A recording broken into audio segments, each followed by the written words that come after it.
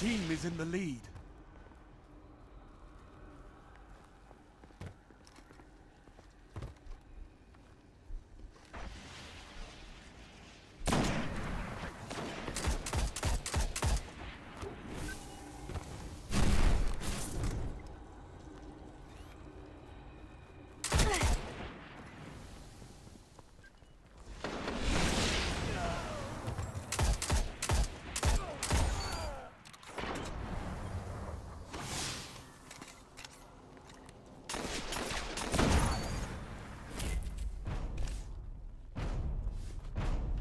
All enemies have been eliminated.